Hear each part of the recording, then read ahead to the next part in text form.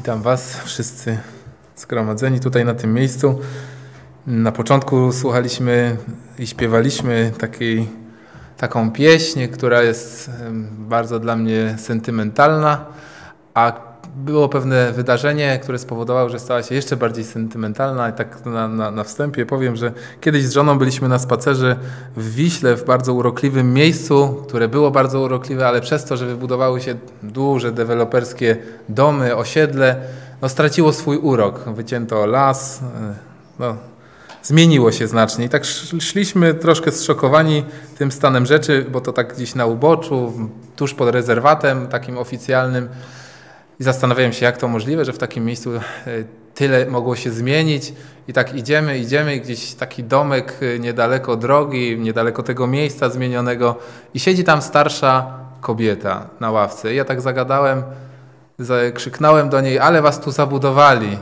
No i zaczęła się rozmowa, i ona tak opowiada, co się, co się stało, opowiada o tych różnych y, przekrętach, które miały miejsce i, i tak dalej, a na końcu mówi, ale wie pan, jak mówi stara pieśń, wczoraj, dzisiaj i na wieki Jezus jest ten sam. Świat się zmienia, góry, rzeki, tylko nie mój Pan. A ja mówię, wyjęła mi to Pani z ust, chociaż pewnie sam bym na to nie wpadł, bo człowiek tak myśli, narzeka. Piękne świadectwo ze strony tej kobiety. Także bardzo lubię mm, śpiewać tę pieśń. Wspominaliśmy już, wspominaliście już, drodzy, w modlitwach, że Pan Bóg jest dla nas dobry, że Jego błogosławieństwo się nie zmienia, że On daje nam dobre rzeczy. E, pastor też na początku przeczytał słowo e, z Psalmu 115, dwa wersety teraz przytoczę. Czemu mają mówić poganie, gdzież teraz jest ich Bóg, a nasz Bóg jest w niebie, czyni wszystko, co zechce. I to jest prawda. I dzisiaj chciałbym zacząć od tego, że wszyscy sobie cenimy, mam nadzieję, wszyscy myślę tutaj z, z, obecnych, którzy są na tym miejscu, wszyscy sobie cenimy odpocznienie i pokój, które daje Pan Jezus. Mogę chyba z pewnością powiedzieć, że życie chrześcijanina nie polega tylko na tym, że jest łatwo, miło i przyjemnie, nie omijają nas żadne problemy, że omijają nas wszystkie problemy, że nie mamy w swoim życiu trudności, doświadczeń. Nie, tak nie jest ale jest coś, co daje Pan Jezus, że w tych wszystkich różnych doświadczeniach, próbach i znoju możemy się znaleźć w miejscu odpocznienia i pokoju i e, odczuwać ten pokój w naszym mm, życiu. I nie ma takiego innego miejsca, w którym tak byśmy mogli doświadczać prawdziwego i głębokiego odpocznienia, jak właśnie obecność e, Pana Jezusa. Wtedy zyskujemy wolność od e, niepokojących nas myśli, od myśli, które które dotyczą każdego człowieka, o to, co będzie, e, co z pracą, co z rodziną, co, co w domu, co z chorym członkiem rodziny i tak dalej, i tak dalej. Tych zmartwień jest bardzo, bardzo, bardzo wiele, ale kiedy udajemy się do tego odpocznienia i, do, do, i zyskujemy pokój, który daje Pan Jezus, y, możemy być od tego wolni, a przynajmniej możemy ten ciężar zrzucić na Niego. To jest tak, y, tak sobie to wyobraziłem, jak, jak o tym myślałem. To tak, jakbyś przyszedł po ciężkim dniu pracy do swojego domu, usiadł w miejscu, które najbardziej lubisz, w fotelu, który jest miękki, wygodny, y, z kubkiem e, w ręku czegoś do picia gorącego, co najbardziej lubisz i nie myślał o niczym innym, tylko odpoczywał. Tak, takie bym porównanie tutaj zastosował. Ja oczywiście, tak jak jeszcze później nad tym myślałem, to dodałem jeszcze, że jest jeszcze jeden warunek, że dzieci muszą wtedy spać. I wtedy to jest tak, taki komfort. Słuchajcie, dzisiaj chciałbym podzielić się z Wami kilkoma moimi przemyśleniami, które miałem w ciągu ostatniego miesiąca, może dwóch miesięcy, e, w oparciu o Słowo Boże, które czytam e, codziennie, które, no może nie codziennie, ale które czytam które analizuję i które też dotyka mojego serca. I chciałbym zacząć od Ewangelii Mateusza, od 11 rozdziału 28 wersetu. E, będę czytał z tłumaczenia e, Biblii, z uwspółcześnionej Biblii Gdańskiej. Przyjdźcie do mnie wszyscy, którzy jesteście spracowani i obciążeni, a ja wam dam odpoczynek. O tym już troszkę powiedziałem, o tym odpoczynku i pokoju. Dobrze znamy też Psalm 23, który mówi, że Pan jest naszym pasterzem, że niczego nam nie braknie, że On nas będzie prowadził na zielonych pastwiskach i nad spokojne wody, że nas posila, że prowadzi swoimi drogami sprawiedliwości. pociesza, zastawia stół wobec naszych nieprzyjaciół, koi nasze zranienia, otarcia, oferuje i zapewnia nam swoją dobroć, miłosierdzie na zawsze, prowadzi nas do miejsca przygotowanego dla nas, które jest nam teraz w ogóle trudno sobie wyobrazić pod względem wspaniałości, jaka nas czeka. I tak się zastanawiałem, do kogo skierowane są te słowa, które powiedział Pan Jezus. Odpowiedź wynika wprost z tekstu. Tekst mówi: Przyjdźcie do mnie wszyscy. I myślę, że to słowo jest skierowane i do niewierzących ludzi, ale myślę, że też jest aktualne do ludzi, którzy są wierzący, którzy już poznali Pana Boga, przyjęli Pana Jezusa do swojego serca. Pan Jezus stał się Panem i Zbawicielem ich życia, żyją według Jego słowa. I dzisiaj chciałbym się właśnie skupić na tym aspekcie, na, na tym, że to słowo jest adresowane do chrześcijan, do wierzących. Jakkolwiek ono dotyczy wszystkich bez wyjątków, bez wyjątków oczywiście, jeśli dotyczy ludzi, którzy nie są chrześcijanami, no to będzie miało zastosowanie, e, czy, czy jest wezwaniem do tych osób i pewne warunki muszą być spełnione, czyli muszą te osoby swoje życie oddać Panu Jezusowi, żeby ten odpoczynek zyskać. Czy pozostajesz cały czas w odpoczynku, który zapewnia Pan Jezus? Jak, jak myślicie, drodzy, czy ten odpoczynek, który On oferuje, czy to jest odpoczynek na stałe, czy to jest odpoczynek na 7 razy w tygodniu po godzinie, e, czy to jest, nie wiem, raz na 3 dni taki odpoczynek, czy on jest limitowany? Często nie widać różnicy w życiu chrześcijanina w porównaniu do życia osoby niewierzącej pod, pod kątem właśnie tego odpocznienia, pod kątem doznawania tego pokoju. E, nie będę mm, y, zadawał nawet takiego pytania, czy zastanawialiście się, dlaczego tak jest w życiu, że są ludzie wierzący i przeżywają e, różne, różnego rodzaju niepokoje, trudności, doświadczenia, i są ludzie niewierzący, którzy wydawać by się mogło nie doświadczają e, takich problemów, którzy nie borykają się z różnego rodzaju problemami. Wydaje się, że ich życie jest, jest, jest szczęśliwe i tak jest. No, nie możemy tego pod, wzruszyć pod żadnym względem. Patrzysz na nich i widzisz szczęście, uśmiech, powodzenie. Myślę, że każdy z nas, yy, myślę, że w większości przypadków każdy z nas przeżywał kiedyś takie, yy, takie rozterki.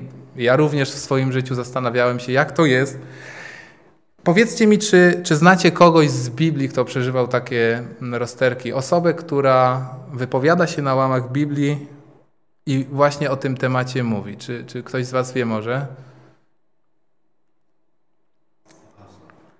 Tak, taką osobą był, był Asaf. I chciałbym przeczytać kilka wersetów z, z tego psalmu, z psalmu 73, który napisał. Mm, ale jeszcze zanim to zrobię, zadam pytanie,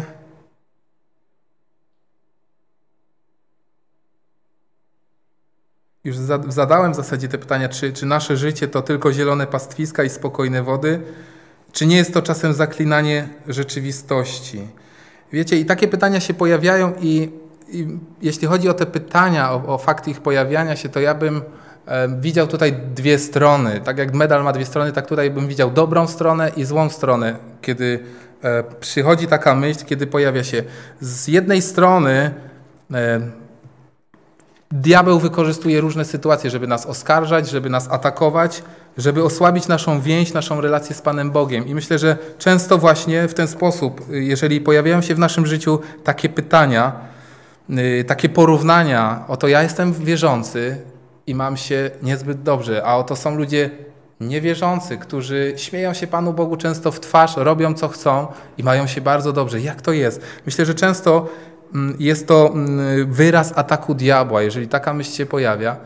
Y, jeżeli on chodzi wokół chrześcijan i chce, aby, chce ich pochłonąć, Chce zniszczyć wiarę, osłabić miłość i zaufanie do Pana Boga w ten sposób. Jest oszustem, który chce pokazać, że wszyscy naokoło, mimo że w Pana Boga nie wierzą, mają się lepiej, a Ty masz się, e, masz się źle. Jaka jest dobra strona zadawania takiego pytania? Jaka jest dobra strona tego, kiedy pojawia się w naszym życiu takie pytanie? Jeśli uczciwie podejdziemy do tematu, do, do tego pytania i do udzielenia odpowiedzi na to pytanie, jeśli będziemy chcieli rozwiązać problem pojawiania się tych pytań w naszym życiu, to będą one pełniły taką funkcję mobilizacyjną, ostrzegawczą, będą powodowały, że będziesz konfrontował swoje życie e, z tym, co jest zapisane w Biblii. Będzie następowała konfrontacja teorii biblijnej z praktyką naszego życia. Jest to dobry moment, żeby, tak mówiąc przysłowiowo, kolokwialnie, stanąć przed lustrem, spojrzeć sobie w twarz i skonfrontować swoje życie z tym, co e, mówi Biblia. I zadać sobie pytanie, w jakim miejscu jestem i w mojej pielgrzymce, w moim podążaniu za Panem Bogiem. Pozwólcie, że przeczytam kilka wersetów z Psalmu 73. 73 psalm od drugiego do 14 wersetu. Ale moje nogi niemal się potknęły, moje kroki omal się nie zachwiały, bo zazdrościłem głupcom, widząc pomyślność niegodziwych. Nie mają bowiem więzów aż do śmierci, ale w całości zostaje ich siła. Nie doznają trudu ludzkiego ani cierpień jak inni ludzie. Dlatego są opasani pychą jak złotym łańcuchem i odziani w okrucieństwo jak w szatę ozdobną. Ich oczy wystają od tłuszczu, mają więcej niż serce mogłoby sobie życzyć. Oddali się rozpuście i mówią przewrotnie o ucisku, mówią wyniośle, zwracają swoje usta przeciwko niebu, a ich język krąży po ziemi. Oto są niegodziwi, a powodzi im się na świecie i pomnażają bogactwa. A więc na próżno oczyściłem swoje serce i w niewinności obmywałem ręce. Cały dzień bowiem znoszę cierpienia i co rano jestem chłostany. Widzimy w tym fragmencie, że Asaf doszedł do takiego momentu, w którym sta, stanął i zaczął siebie porównywać. Jak wygląda moje życie, a jak wygląda ludzi, życie ludzi tych, którzy podnoszą swoją głowę dumnie przeciwko Panu Bogu. W dalszej części tego psalmu, kiedy już kiedy mm, Asaf dochodzi do tej refleksji właściwej, mówi o końcu, jaki czeka ludzi bezbożnych. Nie chciałbym się na tym skupiać, bo, bo nie o tym chcę dzisiaj mówić. To, że koniec tych ludzi, jak pisze Asaf, jest przerażający, nie powinno być dla nas żadną satysfakcją. Nie powinno być żadną motywacją w chodzeniu za Panem Jezusem ani takim rachunkiem, no dobrze, ja teraz cierpię, ale oni będą cierpieć później. Nie. Dopóki trwa czas łaski, to, to Pan Bóg chce, żeby jak najwięcej ludzi mogło być zbawionymi i jak najwięcej ludzi e, usłyszało o e, Panu Bogu o, i przyjęło Jego Ewangelię. Myślę, że jesteśmy pewni co do tego, że Pan Jezus nie miał absolutnie satysfakcji z tego, jeżeli ludzie odrzucali Jego Słowo, nie miał z tej satysfakcji i nie mówił, dobrze, pójdziecie, pójdziecie na sąd, pójdziecie na śmierć, na wieki zginiecie. Nie. Cały czas próbował docierać do tych ludzi. Oczywiście mówił im, co ich czeka, jeżeli nie przyjmą Jego słowa. Również nas, chrześcijan, Pan Jezus wzywał do tego, żeby cały czas głosić Słowo Boże.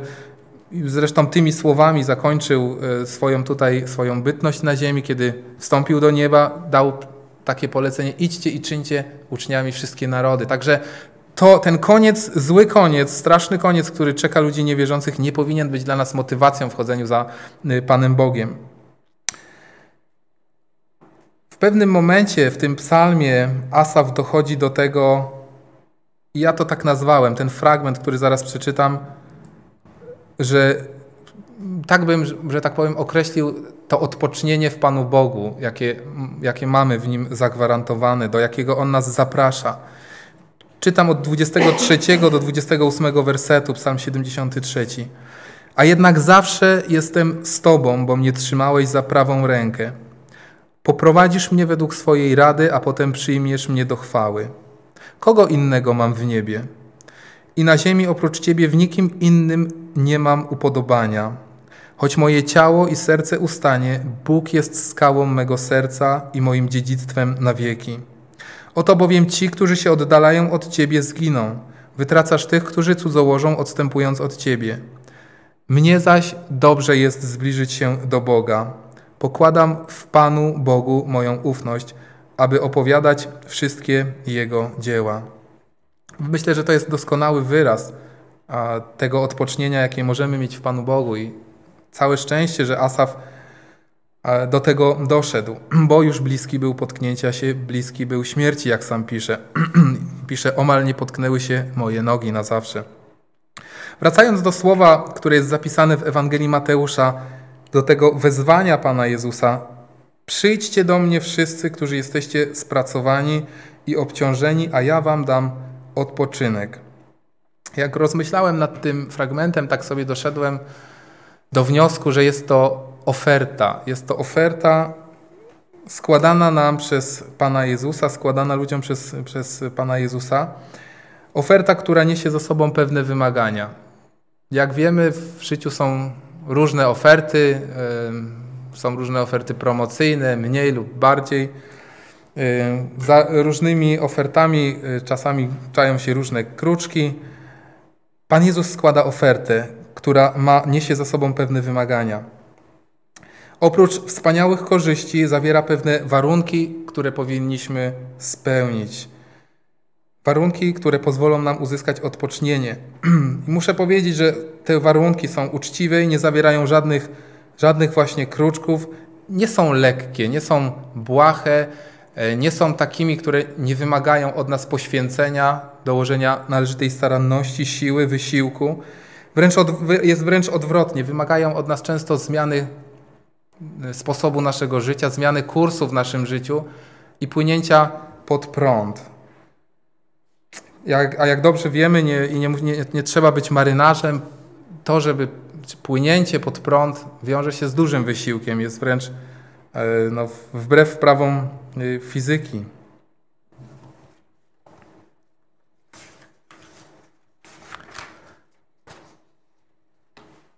Nawiązując do, te, do tych warunków, jakie, jakie stawia mm, Pan Bóg, Pan Jezus w tym wezwaniu, chciałbym zwrócić naszą uwagę na to, jakim jest Pan Bóg. I chciałbym zwrócić uwagę na to, że Pan Bóg jest Bogiem świętym, jest Bogiem sprawiedliwym, godnym czci i szacunku, czystym, nienawidzącym grzechu, zła i nieczystości.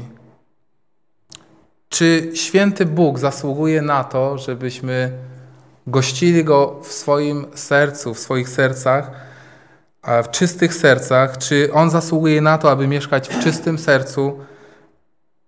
Czy Duch Święty może przebywać w sercu, które nie zostało obmyte odkupieńczą krwią Pana Jezusa? Słowo Boże w, liście, w pierwszym liście do Koryntian, w trzecim rozdziale, w szesnastym wersecie mówi Czyż nie wiecie, że jesteście świątynią Boga i że Duch Boży w was mieszka? Wcześniej, od 12 do 14. A czy ktoś na tym fundamencie, i mowa tu jest o Panu Jezusie, buduje ze złota, srebra, z drogich kamieni, drewna, siana czy ze słomy, dzieło każdego będzie jawne. Dzień ten bowiem to pokaże, gdy przez ogień zostanie objawione i ogień wypróbuje, jakie jest dzieło każdego.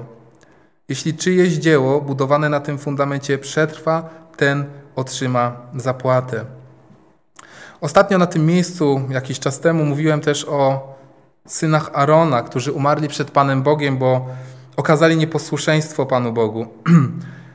Pozwólcie, że teraz przedstawię kilka cytatów opisujących świętość Pana Boga, które są zawarte w Starym Testamencie, a dokładnie między innymi w trzeciej księdze Mojżeszowej. Trzecia księga Mojżeszowa, dziesiąty rozdział, trzeci werset mówi tak. Wówczas Mojżesz powiedział do Arona, oto co Pan powiedział, w tych, którzy zbliżają się do mnie, będę uświęcony i będę uwielbiony przed całym ludem. Jedenasty rozdział, 44 werset do 45. Gdyż ja jestem Pan, wasz Bóg. Uświęcajcie się więc i bądźcie świętymi, bo ja jestem święty, i nie zanieczyszczajcie się żadnym zwierzęciem pełzającym po ziemi, gdyż ja jestem Pan, który was wyprowadził z ziemi Egiptu, aby być waszym Bogiem. Bądźcie więc świętymi, bo ja jestem święty. 18 rozdział, pierwszy werset do piątego. Pan powiedział jeszcze do Mojżesza: Przemów do synów Izraela i powiedz im: Ja jestem Pan wasz Bóg. Nie czyńcie według zwyczajów ziemi Egiptu, w której mieszkaliście, ani według zwyczajów ziemi Kanaan, do której was prowadzę. też nie czyńcie, a według ich ustaw nie postępujcie. Wypełniajcie moje prawa i przestrzegajcie moich ustaw, abyście postępowali według nich. Ja jestem Pan, wasz Bóg. Przestrzegajcie więc moich ustaw i moich praw, bo jeśli człowiek je wypełnia, będzie przez nie żył. Ja jestem Pan. W dziewiętnastym rozdziale, w, w pierwszym wersecie zapisano i w drugim. Pan, potem Pan powiedział do Mojżesza, przemów do całego zgromadzenia synów Izraela i powiedz im, bądźcie święci, bo ja, Pan, wasz Bóg, jestem święty. W dwudziestym rozdziale od siódmego, siódmy werset, a potem dwudziesty szósty. Uświęcajcie się więc i bądźcie święci, bo ja jestem Pan, wasz Bóg. I będziecie dla mnie święci, bo ja, Pan, jestem święty i oddzieliłem was od innych narodów, abyście byli moimi. To są te fragmenty, które w Starym Testamencie, w, księdze, w trzeciej księdze Mojżeszowej mówią o świętości Boga. Czy pod tym względem coś się zmieniło, jeśli chodzi o, o Nowy Testament, a później i teraz o nasze czasy? Nie, Pan Bóg jest święty tak samo, nic się pod tym kątem nie zmieniło. Ani na plus, ani na minus. Wracając do Ewangelii Mateusza. Przyjdźcie do mnie wszyscy, którzy jesteście spracowani i obciążeni, a ja wam dam odpoczynek. I fragment, którego nie przeczytałem, a który mówi o tych wymaganiach, o tych warunkach, jakie powinny być spełnione, aby ten odpoczynek uzyskać. Weźcie na siebie moje jarzmo i uczcie się ode mnie, że jestem cichy i pokornego serca, a znajdziecie odpoczynek dla waszych dusz. Moje jarzmo bowiem jest przyjemne, a moje brzemię lekkie. Zastanawiałem się przez chwilę, taka myśl do mnie przyszła. No w jaki sposób jarzmo, jak to jarzmo może być przyjemne, skoro nieraz staczamy wiele różnych duchowych walk, nieraz wiele odnosimy porażek, upadamy, walczymy z pokusami, zmagamy się. I tak zastanawiałem się, jak ty to rozumiesz? No, czyli to jarzmo jest rzeczywiście przyjemne i le lekkie. O co chodzi w tym słowie? I doszedłem do wniosku, i przynajmniej ja tak rozumiem ten fragment, i tym chciałbym się z Wami podzielić, że to jarzmo, czyli ten wzięcie na siebie ciężar, ciężar walki duchowej o święte życie w bliskości mm, Pana Jezusa, o wzięcie tego pragnienia, o przyjęcie tego pragnienia życia w duchowej walce, ale w walce, która prowadzi do tego, żeby naśladować Pana Jezusa, tak jak On do tego wzywał, i być zwycięzcą, jest możliwe i to jarzmo będzie tylko i wyłącznie wtedy lekkie i przyjemne, jeżeli będę blisko, w bliskiej, osobistej relacji społeczności z Panem Jezusem. Dlatego, że to On każdego dnia będzie mi dawał siły do tego, żeby walczyć, żeby sprzeciwiać się atakom diabła, żeby odnosić zwycięstwa, żeby zwalczać pokusy i nie odnosić porażek. To Pan, kiedy pozostaje w nim, z nim w bliskiej relacji, daje siły do walki z szatanem, z grzechem, ze starą, nieprzemienioną natur naturą. Czy zauważyliśmy, że ciągle walczymy? Czy ciągle się zmagamy? Czy ciągle jesteśmy atakowani? Czy czujemy się tym zmęczeni i potrzebujemy tego odpocznienia, o którym mówi Pan Jezus? Jeśli mamy tą świadomość, że, że ciągle walczymy, to dobrze, bo to znak, że cały czas podejmujemy walkę z grzechem, który nas atakuje, cały czas podejmujemy walkę z szatanem, który krąży wokół nas i który chce nas pochłonąć jak, jak lew ryczący. To znaczy, że cały czas próbujemy iść pod prąd, nawet jeżeli czasami nam to nie wychodzi. Dlatego myślę, powinniśmy się z, wszelkich naszych sił starać być jak najbliżej Pana Jezusa i, i blisko zbliżać się do Niego i pozostawać w Jego obecności. Diabeł nie atakuje tych, którzy nie stwarzają dla Niego zagrożenia. Więc jeśli walczysz, jeśli jesteś w jakiejś walce, jeśli zmagasz się, to wiedz, że jesteś w dobrym miejscu i ważne, żeby być jak najbliżej Pana Jezusa, żeby to jarzmo stało się lekkie, a On, żeby dał zwycięstwo i odpocznienie.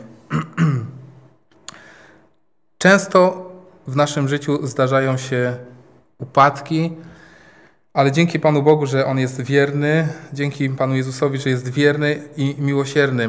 Ostatnio czytałem pewien fragment, który też bardzo mnie dotknął, bo pokazuje, jakim Pan Bóg jest Bogiem łaskawym, wybaczającym, miłosiernym i jaki ma kredyt zaufania do nas, e, ludzi.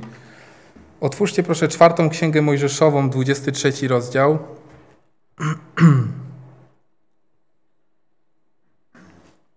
Jest tam opisana 23 rozdział i 24, będę czytał z tych dwóch rozdziałów. W, tej, w tym fragmencie, w tych fragmentach jest opisana historia tego, jak król Aramu wziął Balaama, żeby ten wziął i przeklinał Izraela.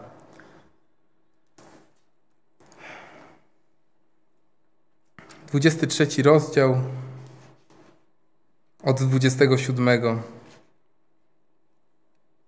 Kiedy już Balaam zgodził się, przyszedł, e, zgodził się oczywiście, wiedział, że Pan Bóg mówi do niego, nie wolno ci tego robić, nie będziesz przeklinał mojego narodu. E, w końcu w nieposłuszeństwie Bala, Balaam poszedł tam e, i Pan Bóg mu powiedział, jesteś tutaj, ale będziesz mówił to, co ja ci powiem. I tak oto Balak Balaam staje przed królem Balakiem, czytam od 27 wersetu. Balak powiedział do Balaama, chodź proszę zaprowadzę cię na inne miejsce, może się spodoba Bogu, żebyś ich stamtąd przeklął. Wtedy Balak wziął Balaama na szczyt Peor, który wznosi się nad pustynią. I Balaam powiedział do Balaka, zbuduj mi siedem ołtarzy i przygotuj mi tu siedem cielców i siedem baranów. Balak uczynił więc tak, jak mu rozkazał Balaam i ofiarował po jednym cielcu i jednym baranie na każdym ołtarzu. Gdy Balaam zauważył, że Pan upodobał sobie błogosławić Izraela, nie poszedł jak przedtem szukać wróżby, lecz zwrócił swoją twarz ku pustyni.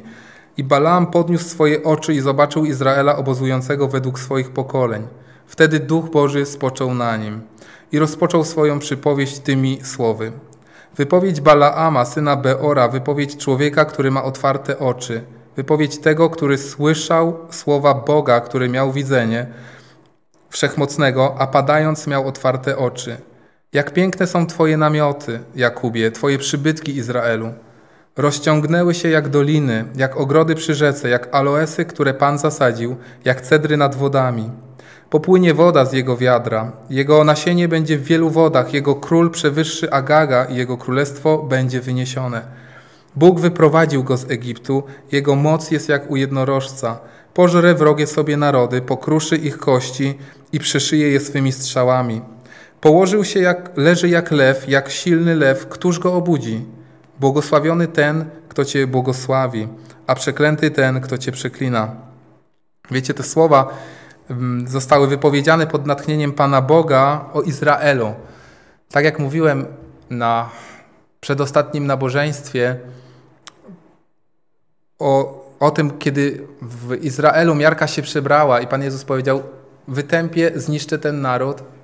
Kiedy dziesięciu wędrowców mówiło, nie idziemy do tamtej ziemi, mimo obietnicy nie, nie posiądziemy tej ziemi, ta ziemia jest zła. Mimo tych wielu grzechów, mimo ciągłych upadków, mimo ciągłego występowania przeciwko słowu Pana Boga, braku ufności narodu izraelskiego, kiedy staje ten, który ma przekazać królowi Balakowi informacje na temat tego narodu, zamiast przeklinać ten naród, który został wyprowadzony przez Pana Boga, błogosławi go. Mimo tych wielu upadków, Pan Bóg ma zdanie dobre o tym narodzie i chce się troszczyć. I tak myślę jest w naszym życiu. Często upadamy, często zawodzimy, w tej duchowej walce ponosimy porażki, ale mimo tego łaska i miłosierdzie Pana Boga wciąż trwa. Y, i chce nas podnosić, chce nas wspierać, chce nas wzmacniać i prowadzić w zwycięskim życiu.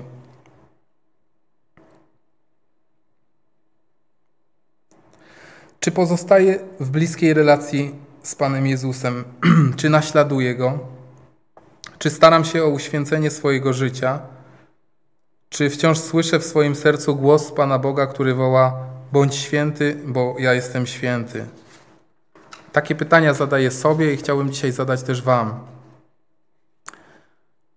Odpocznienie i pokój jest przed Tobą na wyciągnięcie ręki, ale z tą ofertą, którą Pan Jezus złożył w Ewangelii Mateusza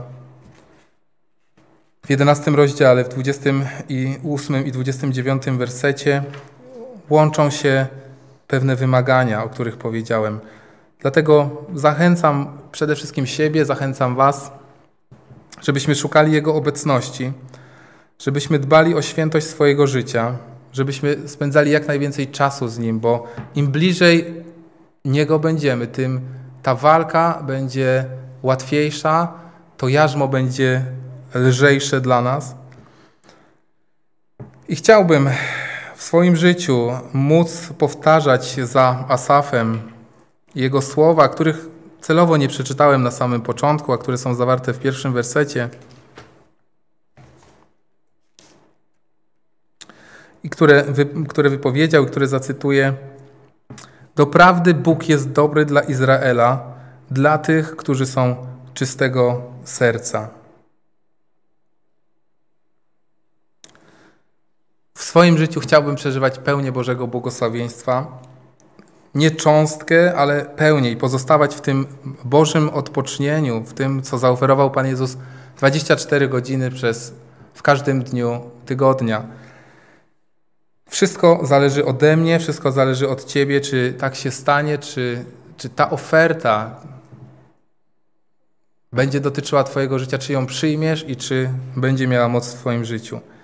Doprawdy Bóg jest dobry dla Izraela, dla tych, którzy są czystego serca.